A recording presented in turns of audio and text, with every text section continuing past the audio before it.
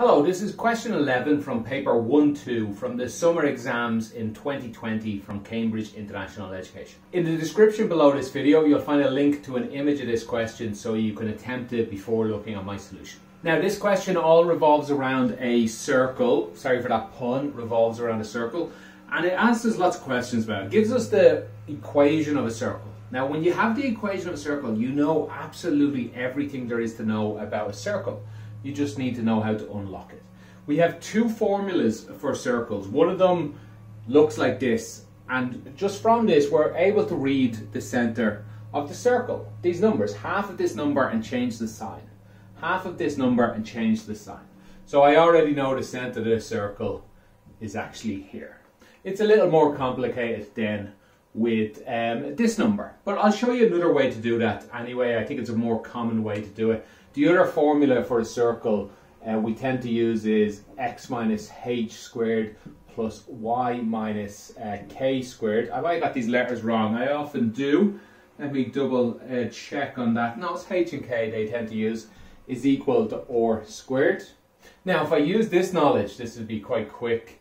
Um, I can just put these numbers in. But uh, a better way to do it would be have a think. How do we get from here to up here? X squared is going to get an x squared. Um, h by x and another h by x will have 2hx. That's where I actually got that bit of knowledge. So what number must be here to get an 8? So um, if it was a 4, 4 times x and x times 4 make 8x. And if it's a plus there, so this will work if it's a h, uh, x minus 4. So h is plus 4. That's where we get that from. Uh, let's see.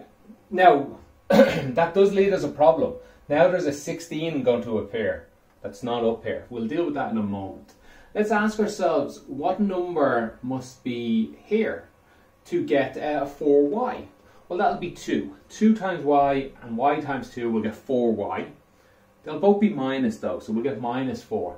So I need minus minus 4, minus minus 2, which is plus 2. Okay, um, now the problem is this will have an extra 16 plus 16 that I don't want.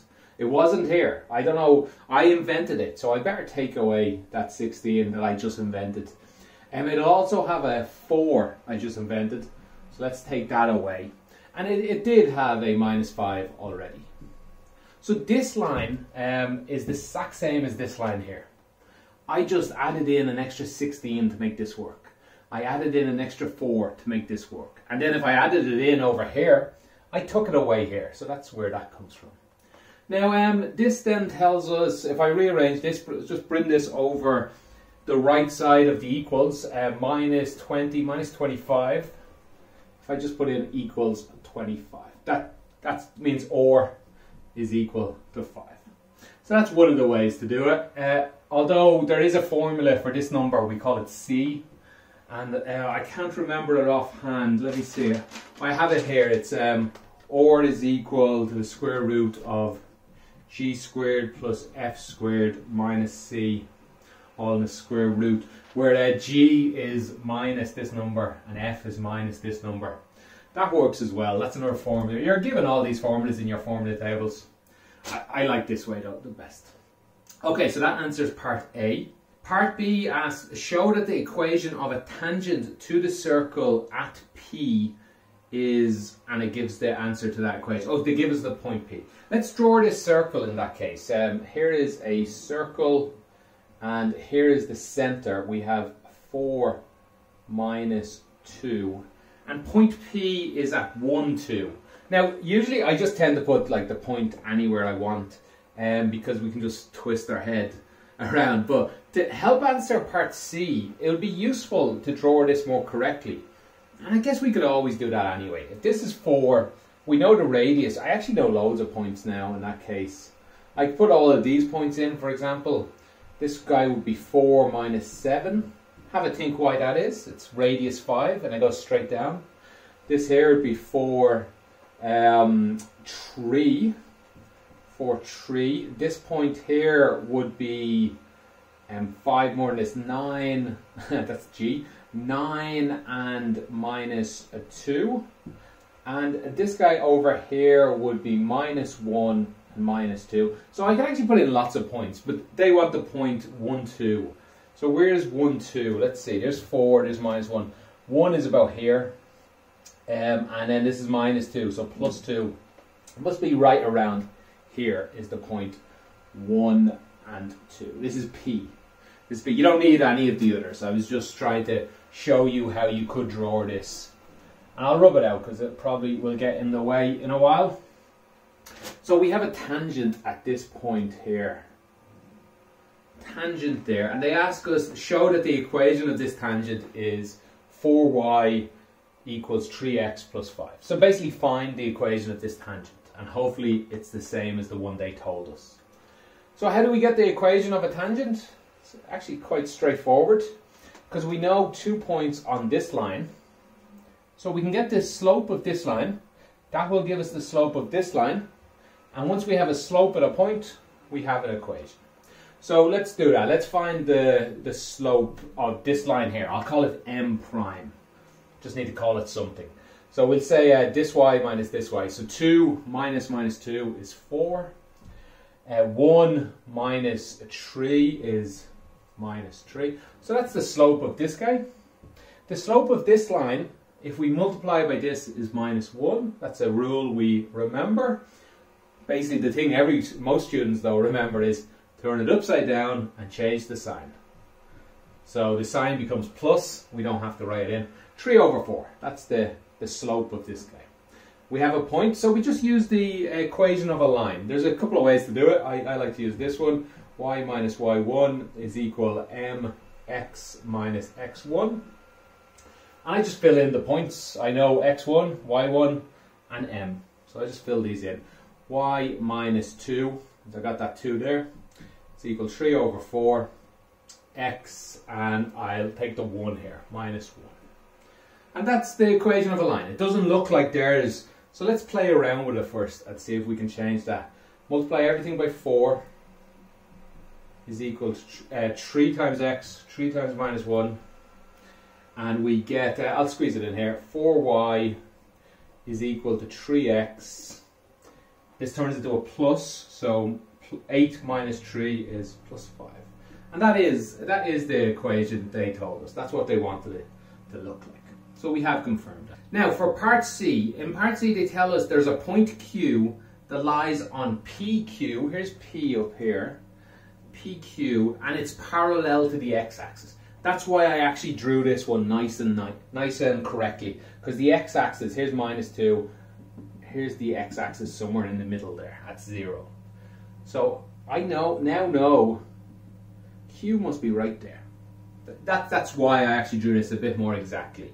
But this is um, the way you would solve this question. I'm sure there's a few other ways now that I think about involving the slope maybe or something. Anyway, I'll, I'll show you the way I know how to solve it. So if we know this point is 1, 2, I already know something about this point. It's something 2. We already know a lot about it. Um, we They ask us then, it's parallel to that, write down the core, the tangents of the circle at P and a Q. So they're talking about this tangent here. And they want the Oh, they want the coordinates of. Sorry, Q, Q is the point that lies on the circle. Okay, they want you to write down the coordinates of Q. Oh, I see. I'm missing part D on um, on my on what I'm looking at here. So we can just get this number straight away.